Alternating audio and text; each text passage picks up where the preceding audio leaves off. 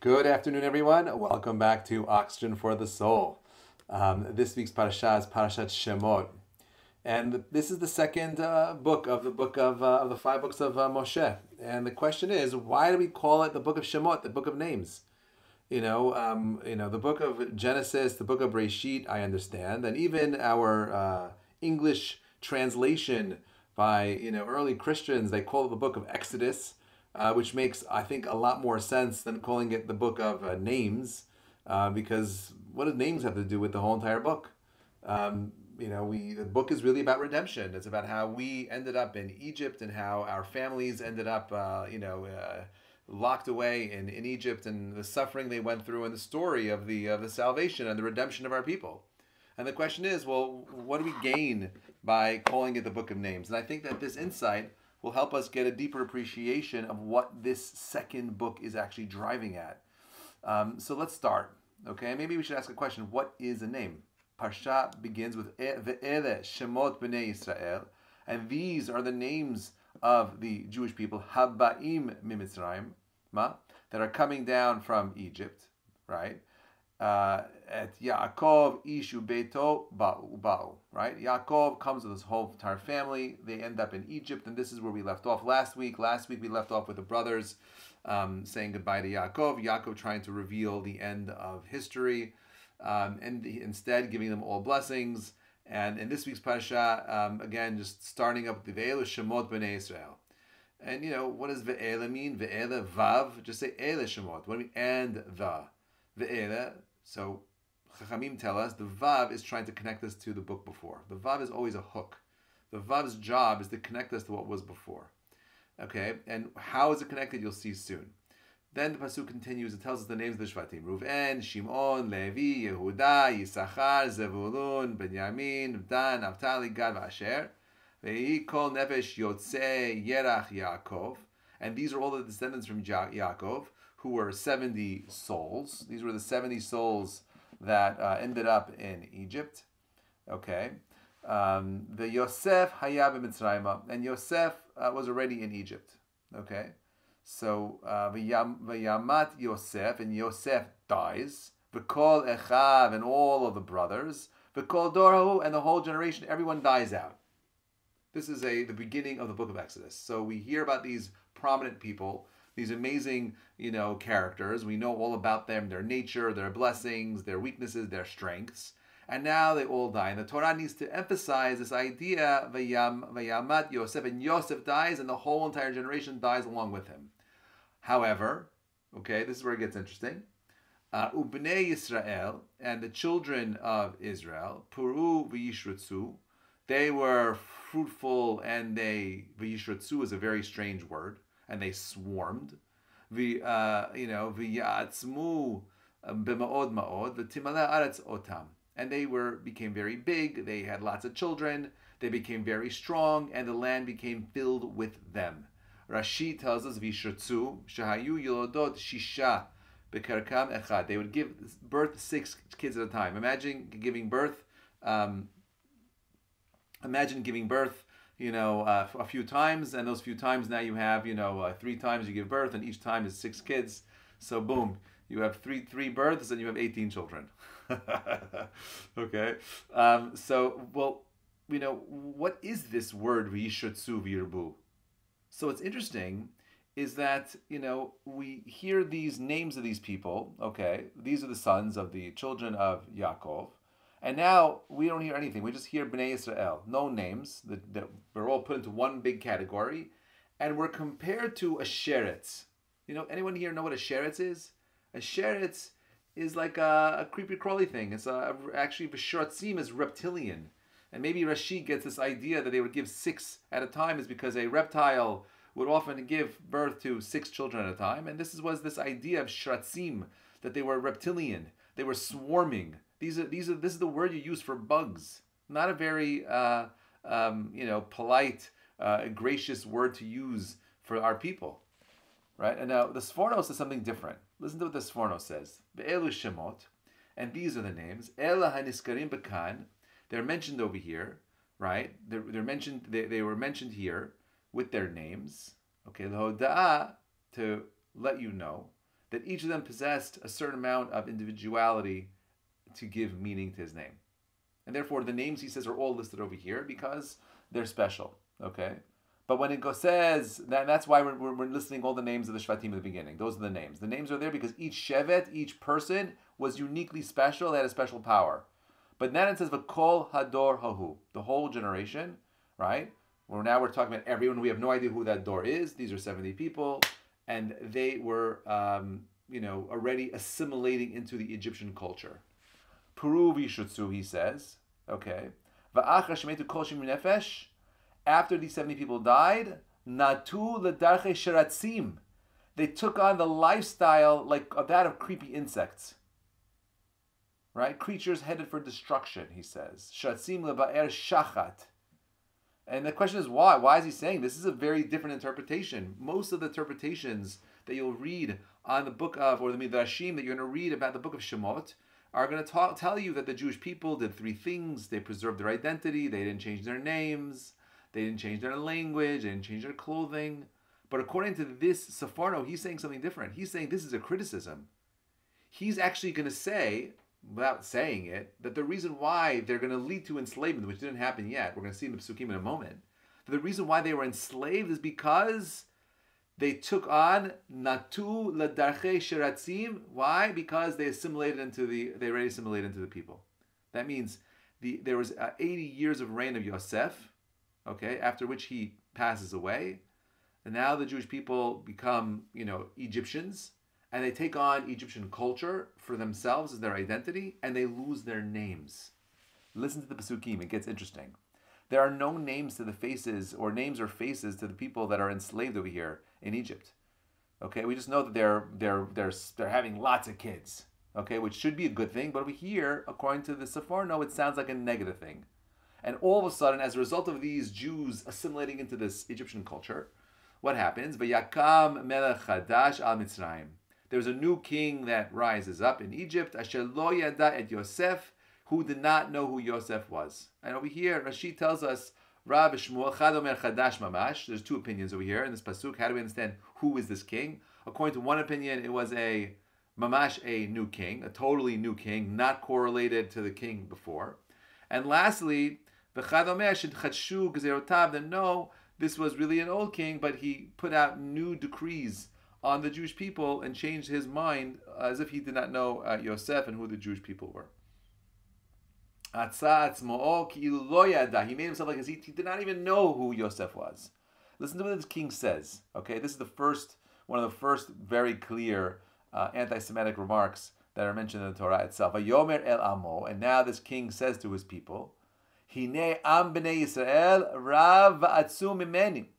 These children of Israel are more numerous and stronger than we are. Hava nidchachma lo. Let us deal very wisely or shrewdly with them. Pen yirbe v'haya ki tikre'ena v'nosef gamahu al sonenu v'nilachem banu v'ala min haaretz. We, we, we got to be very careful with these people. They are growing so fast that they're going to take away, they're going to replace us. By the way, what does this sound like? This was sounds like some of the protests that happened in, in, in America not too long ago, where you had people chanting, we will not be replaced by Jews. What's the fear? Where the smallest group in the world. And I imagine even though the Jews back then were growing and having larger families, they still did not outnumber the amount of Egyptians that were in Egypt. So what was the fear about? Right? What was the fear about? What were they afraid of? Okay, so what are we going to do? He says, he says, V'yasimu sare masim leman anoto.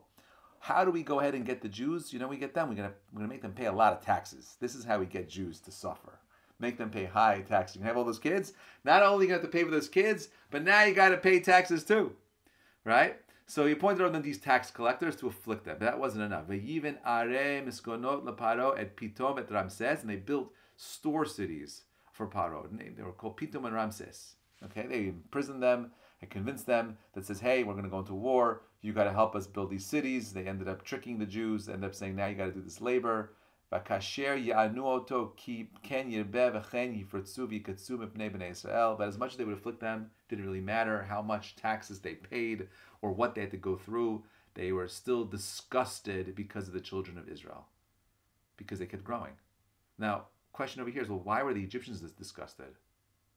What did, what did they do? What did the Jews do that made that made if you want to be angry at the Jews, you could be angry at the Jews, right? But why were they feeling disgusted? Because they were just having so many children. You guys got to stop having kids. You know, it's like the China, like they wanted to make like a one child rule, but that didn't happen there either. Okay, what were they disgusted about? Kashe yanuoto, right? Rashi says in whatever way that they set their heart to afflict them, so was the heart of the Holy One. Which means that when they would afflict the Jewish people, Hashem gave who's there with us, He gave us the strength to overcome. You think you're in control of the circumstance that you're in, tuitions, money, donations, it's so much, it's so hard. Eh, not true. Rashi says, don't worry about the challenge. You rise to the challenge and let God do his part. Ken yirbe, ken ravava ken paratz, right? He says it so they will multiply and they will gain strength means that they multiply and they gain strength. And that means that God says, don't worry about it. We will give you the strength you need to keep doing what you got to do. Yiktsu. They were disgusted. Why were they disgusted with their lives? Rashi says. The Egyptians were disgusted with their lives. They were disgusted with their lives because they were disgusted with themselves. Why? They were disgusted with themselves because the Jewish people reminded them that you could do all these things, have large families, build amazing institutions, have amazing education, and still not conform to your society. Right? And then the Jew, the Egyptians come, they enslave the Jewish people with back-breaking labor. V'yimaru et chayehem, we read this in the Haggadah. בעבודה קשה, בחומר, בלבנים, וכל עבודה בשדה, ואת כל עבודתם אשר עבדו בהם בפרח. The Jewish people were overwhelmed with the bricks and all kinds of labor in the field. It was exhausting. They were so tired. Maybe if they're so tired, we give them backbreaking work, they'll stop having kids. This will be a form of birth control. Vayomer HaMelech Mitzrayim, but you see, nothing worked. The Egyptian king makes a new decree. To who? To Lamayaladot, Ha'evriot. they don't have names. Interesting. No names, these people. Who are they? Okay, to these uh, women who were midwives, right? Shifra. One was Shifra and Mapua, and we know their real name was who? Miriam and Yocheved, right? Why do they call them Shifra and Pua? And, and this is where it's complicated. Right here is proof in the Pasuk that they didn't have Jewish names. These were Egyptian names that were given to them. The, the, the, king would not allow them to use their Jewish names. And the question is why? What's so bad about your Jewish name? Why can't you have a Jewish name? And I'm telling you, your Jewish name, my friends, has so much to do with your identity. A name of something defines the essence of it.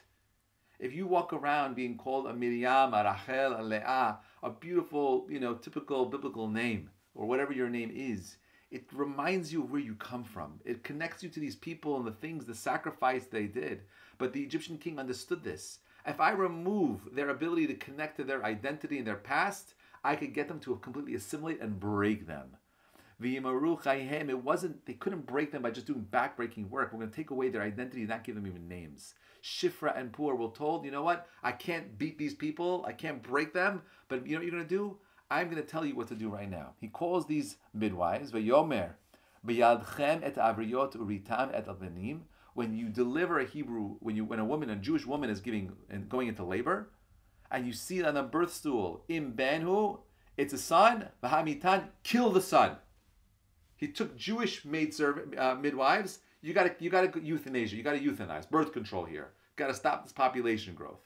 Now remember, Egypt is one of the most fertile lands in the whole eh, Middle East. They weren't worried about it. With the Nile River, endless food, fish, so much there. What are they worried about? Consumption or the loss of their own identity?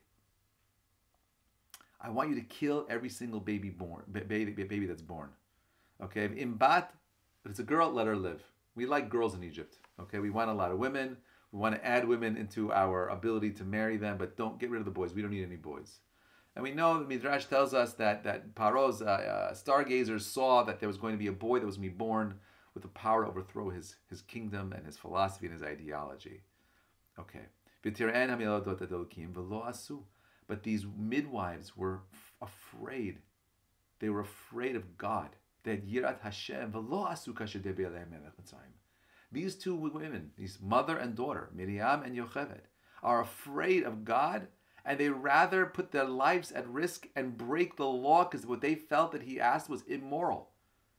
And they allowed the boys to live. And in this chut, what happens? Right? Listen to what happens. This is already we're at the Sheni right now. This is just this is just introduction. It's fascinating. He calls them back these midwives. He says, "What's going on? Why have you done this thing that you enable these boys to live? I see what's going on. There's too many boys in the streets. Where are all these Jewish boys coming from? What do they say? They tell Paro, Ki lo kanashim Jewish women are not like Egyptian women. Only a Jewish woman can say that, right?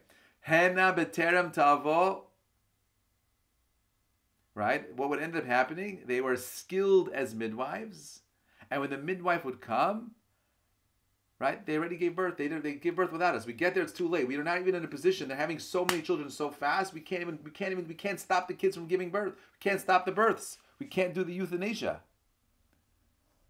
And this was their excuse. So listen what it says. V'yitav Elokim le'me'aladot. God benefited the wives. V'yarev ha'am yetzmu ma'od. And the people multiplied and became very strong. The Jews were still growing as a result of these two women and their sacrifice. This is proof, by the way, ladies that are here listening.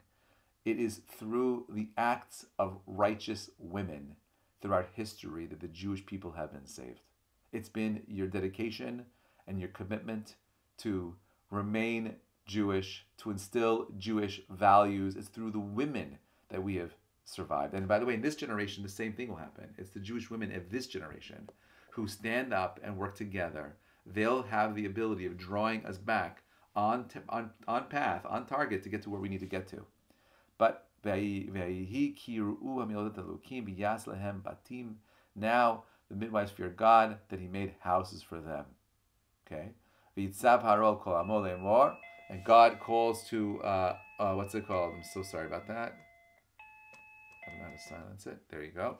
He says to them, Right? Every son who was born you should cast into the Nile. Every daughter shall live. And, and this is where I'm going to kind of like this last two more two more psukim, and then we're going to call it a day. Okay, listen to this. ish mi bet Levi, a man from the house of Levi, right? Vayikach et bat Levi, a man in the house of Levi went and married a daughter from the house of Levi. No names, It's the book of Shemot. you can't. We know who this is. This is Amram, right? This is Yocheved. Why can't we say their names? Because they had no names. These people already lost their identity. They were so lost. They were mindless, swarming people who didn't really know where they came from anymore. Mindless. All those children, everything that was built was lost. All that investment gone. All that sacrifice, kimat gone. Midrash tells us that what happens over here, this wasn't uh, Amram marrying uh, Yocheved for the first time. He divorced her. He divorced his wife. Imagine right now, I told you, the biggest leader of the Jewish people divorces his wife. He says, you know what? Game over. Jews, stop having children. There's too much pressure, too much taxes, too much backbreaking work, too much yeshiva bill tuition. I don't want this anymore. Hajj, I'm done. Enough. I don't want it. Just close shop. Everyone divorce your wife. This is what happened in Egypt. And Miriam comes to her father Amram and says, Dad, what are you doing? Your decree is worse than Paro. Not only are you going to ensure that the boys are not going to be born, but now the girls too. And he hears his daughter and says, You're right. And he ends up remarrying her. He ends up taking on a wife, again, remarrying his wife, at a time where it made absolutely no sense. Back, it was it was impossible. It says that no one ever no one ever escaped Egypt. You couldn't get out of that place. It was it was it was Fort Knox, lockdown. You're not going anywhere. And there's no names over here. But Tahera Isha, and a woman conceived. We don't know her name. Strange. Right? V'teled Ben, and she had a son. V'tirek Oto, she sees him Kitov, who doesn't, is very nice. Doesn't even give a name also. But Spineush L'shel Yerachim, right? She said she she said he you know she hid him for three months. Uh, gomech. They didn't know what to do with him. We know they put him in the basket, right? But tachat achoto merachok ledama. I said the sister. There's no name over here of the sister. The teret bat paro. She sees him, stretches out, and she calls him Moshe Mishisiu Minamayim. Right, and that's the story over here. Where are the names of all these people? In the beginning, we have these names of these amazing people, all the Shvatim, and now there's no names of any of the key characters. As a matter of fact, the only name we get is Moshe's name, and it's not even it's not a name that's that was given to by his birth mother. It's some adopted woman an Egyptian, a non-Jewish woman who gives him the name. Right? Strange. Now, we actually know the names of these two people that married one another, right? Yocheved and Amram. Now, let's try to explain this. We know that Amram and Yocheved were both born at a time of deep persecution, at a time where um, our oppressors treated us as if we were subhuman, no names. We saw this before in the Holocaust. They take away people's names, give them numbers, dehumanize them. Where do you think the Nazis got it from? Right here, my friends. Right? Um, we know that um, you know the irrespective of the circumstances that they were in, Amram's parents wanted his children to know that he was special, and they gave him the name Amram. What does Amram mean? Right? Amram means comes from the words Am, nation, Ram, an elevated people. The parents named his their child, their son, gave him a Hebrew name in Egypt. You're special. You come from a uh, elevated people, right? It doesn't matter what how people treat you. It doesn't matter what the nations say you are or not. You're just a Jew, right? What a powerful name to give a kid in, in exile. And Yocheved, Yo, God's name, Cheved, Kabod, God of honor.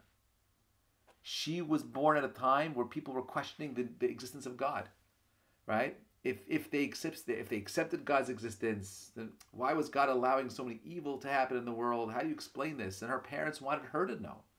Yocheved, God is a God of honor, and He will keep His promise irrespective of what challenges they find.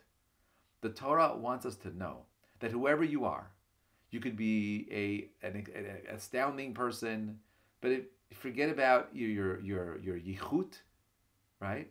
You forget about your parents, your grandparents, and the wonderful lineage that you have. That's not important. Any regular man, a person with no name, a woman, a man with no name, can produce a regular child, right? And that regular child later on as an adult can use all God, God given talent that was given to him. And if you reach into your own personal wonderful potential, you can become the Moses of your generation. These people had no names, they were lost already. But the people that are emerging from the story, we want to connect them to the people that were, but they have their own story to tell. A unique mission to re-inspire a people that were so broken. You see how hard Moshe had such a hard time convincing them he needed signs and miracles and all those things. He still couldn't do it. Do you know why? Because they lost their name. You know what your name is? Your name is your essence. Your name is your mission statement. What are you here to accomplish? The Jewish people lost their faces. They lost their name. They lost the ability to achieve what they were meant to achieve, to be a Israel's princes of God, not to capitulate to the Egyptian society, but to elevate society, not to say, ah, we're just going to be shiratzim, just going to go ahead and have fun all day and all night. Let's make babies for the sake of making babies. Make babies, have fun. But no, we have a moral purpose here. We're meant to elevate ourselves. We're meant to become bigger, greater people. Otherwise, you, my friends, are just a slave to the culture that you're in. And you want, if you want to be free, what is real freedom? Freedom is going to be coming up the next parashiot. Freedom has to do with this book. This book is not just Stam, the book of of, uh, of names for, for no reason. This is the book of names because the ultimate name in all this book is God's name. Elohim, Shakai, Amonai. That's the name that you and I are trying to see behind the scenes. What does what does Hashem say to Abraham? Yeah, your children will be a stranger in a strange land. But remember that they will be counted like the stars. They'll be as numerous as the stars. They'll be counted like the stars in exile. They're lost without a clear face. They're faceless. They're being subjugated by Paro. And, and still in that place of darkness, of Metzer, Mitzrayim, in a place which is constricted, they couldn't have the ability to think. You had Paro coming from the word Pera, a man who uses his, his, his mouth, his, his voice, his ability to articulate, to crush another people. Right? That's what you had going on over here. How do you break all of that? You bring someone who's able to be Mishisium in a mind, someone who could split the water, someone who could come out of a place of death and bring life into the world, remembering that you and I could do the same thing. I believe that we are also living today in a time of exile. And we are also living in a time of names. What do you identify with? What's your name? Are you identifying more with your Western culture values? Are you identifying more with your Jewish values? You see, it's going to happen very quickly. In, in our generation, we're going to see what I call the great selection happening, just like it did in Mitzrayim. There will be two groups of people the people that fade away, like so many Jews have in the past, and another group of people that stand up and are willing to do what they need to do to maintain, preserve, inspire the next generation. How does it happen? You got to figure out your own mission, my friends. But you want to know why it's called the Book of Names? Because every single person's name, everyone has a unique mission. They lost that power. Eventually, they get it back. How? By remembering where they came from. You can't advance in life if you don't have a clear vision as to where you came from. You can't move forward if you don't clarify your past. I'm not saying you have to be defined by your past, but you have to clarify who you are so you can know where you got to go. If you believe that everything is fine and perfect and dandy, you're not going anywhere, you're stuck. When you are able to recognize the chisronot, when you're able to recognize the things that you need to overcome, the challenges that you need to break free from, that is where greatness comes. Moshe's stuck, doesn't want to do it, doesn't believe in himself, doesn't find that courage to do it. God has to push him to do it. He creates circumstances that are hard. I don't know if the circumstances in the world are going to get better, but I do know this. Um, if they stay the same or they get a little bit more difficult, it's going to require each of us to make an adjustment. Are you willing to stand up for your name? Are you willing to stand up for what you believe in? Are you willing to go the extra mile to become something more? That is what the book of Shemot is. The Geulah, the Exodus, our redemption depends on our ability to take people with no names, like me and you, and turn ourselves into people with names, Bezrat Hashem, that will be remembered forever. Wishing you all a Shabbat Shalom, an amazing week. Thank you so much for joining and listening. Bezrat Hashem, I'll see you all next week. Questions?